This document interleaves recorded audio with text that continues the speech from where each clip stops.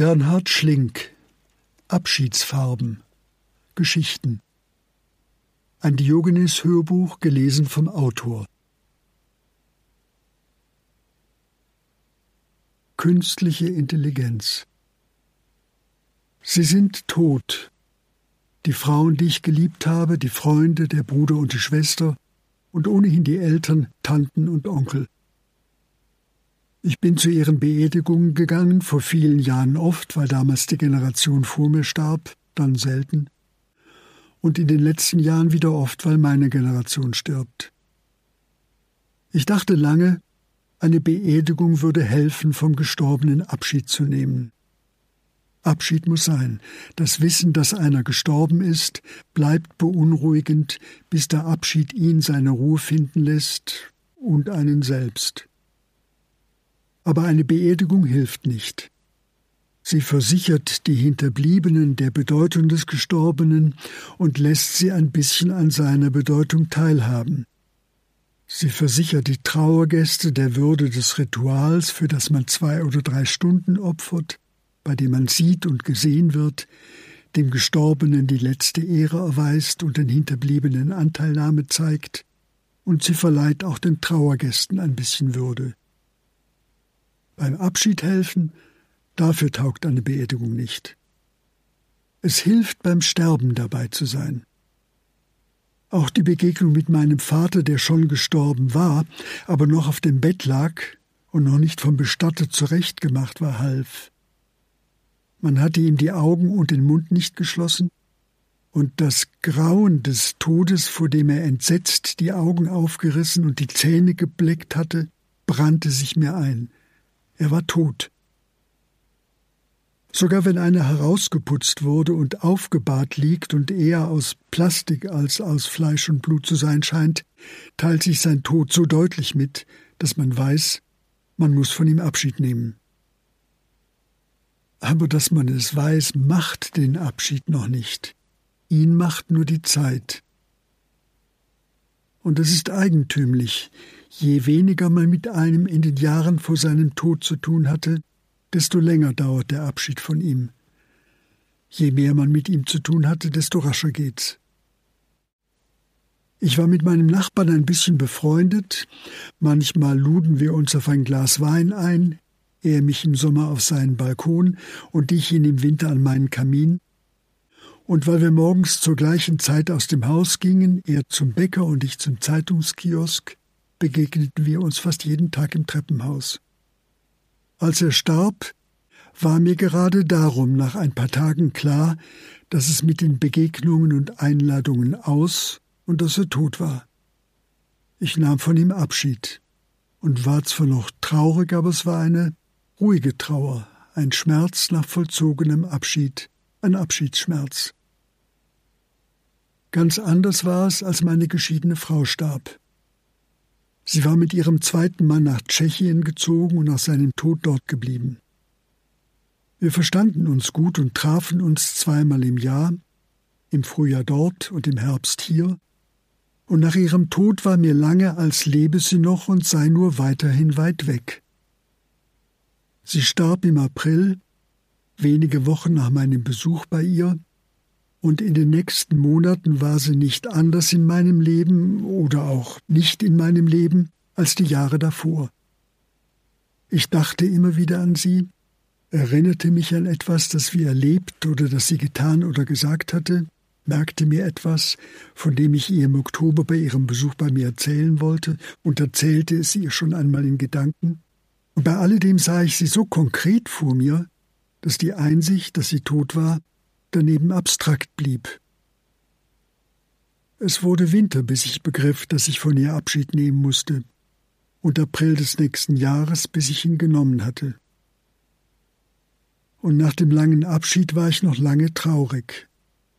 Eigentlich hat die Trauer nie ganz geendet und wird auch nie ganz enden.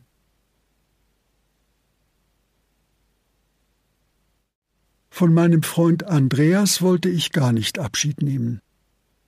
Auch ihn habe ich in den Jahren vor seinem Tod nur in großen Abständen gesehen. Er hatte nach dem Eintritt in den Ruhestand eine kleine Wohnung in Bayern genommen, wo sein Sohn Thomas lebt, und ich war in Berlin geblieben. Mal sind wir in Bayern gewandert, mal haben wir ein dichtes Konzert- und Opernprogramm in Berlin absolviert, mal haben wir uns auf halbem Weg getroffen zur Documenta in Kassel oder zu den Bayreuther Festspielen. Immer waren die gemeinsamen Tage schön, lebendig, vertraut. Wir sind Freunde seit der Kindheit. Auch er war nach seinem Tod nicht anders in meinem Leben oder auch nicht in meinem Leben als davor. Auch mit ihm blieb ich im Zwiegespräch, als gelte es, nur eine Weile zu überbrücken, bis wir uns wiedersehen. Und während ich, als Andreas lebte, Angst hatte, unsere Freundschaft könnte plötzlich einer Belastung ausgesetzt werden, war das Zwiegespräch mit dem toten Andreas angstfrei.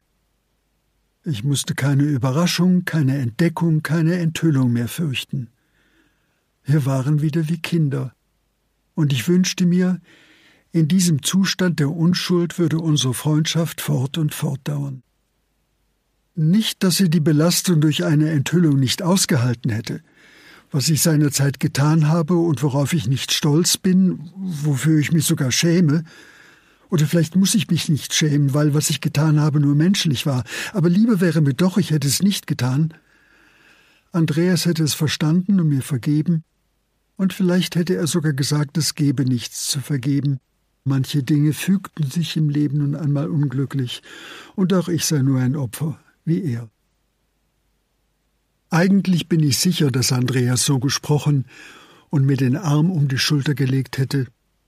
Und wenn wir unterwegs gewesen wären, wären wir ein Stück Weg so gegangen, ohne weitere Worte, nur mit seinem Arm um meine Schulter und dann hätte er gelacht, sein wissendes, freundliches Lachen und von etwas anderem geredet. Warum hatte ich Angst vor der Enthüllung, obwohl ich sie nicht hätte haben müssen? Und wäre es nicht das Einfachste gewesen, wenn ich Andreas gesagt hätte, was damals gewesen war? Ich hatte es mir immer wieder vorgenommen, aber wenn wir zusammen waren, schien es zu weit hergeholt, zu lange vergangen, passte nicht zu unserer Stimmung oder in unser Gespräch, und es gab keinen rechten Grund, gerade jetzt davon anzufangen. Beim letzten Treffen hatte ich nicht davon angefangen, und beim nächsten konnte ich immer noch davon anfangen. Warum also jetzt? So vergingen die Jahre, und warum ich die Angst hatte, die ich nicht hätte haben müssen, weiß ich nicht. Weil Andreas vielleicht doch nicht verstanden hätte? Aber ich verstand, warum es damals so gelaufen war, und er verstand eigentlich immer, was ich verstand. Warum auch immer ich die Angst hatte, ich hatte sie und war erleichtert, sie nach seinem Tod nicht mehr haben zu müssen. Ich glaube nicht an ein Leben nach dem Tod, und was Andreas auf Erden nicht erfahren hatte, konnte er auch nicht im Himmel oder in der Hölle erfahren. Unsere Freundschaft lebte weiter und während sie vor seinem Tod in unseren Gedanken und bei unseren Treffen lebte, lebte sie nach seinem Tod nur noch in meinen Gedanken, da aber angstfrei. Andreas Tod war beruhigend, nicht beunruhigend. Warum hätte ich von Andreas Abschied nehmen sollen?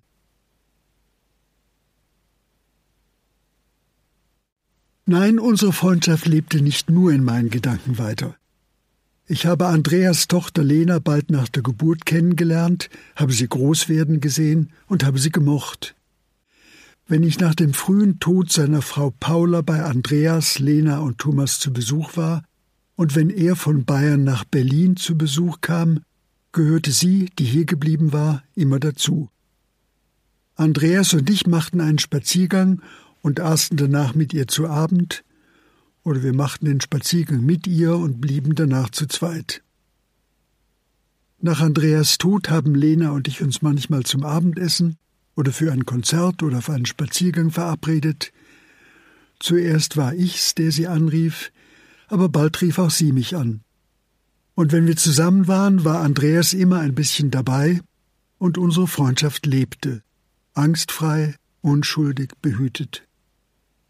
Bis Lena auf die Idee kam, Andreas Akte beim Bundesbeauftragten für die Unterlagen des Staatssicherheitsdienstes der ehemaligen Deutschen Demokratischen Republik einzusehen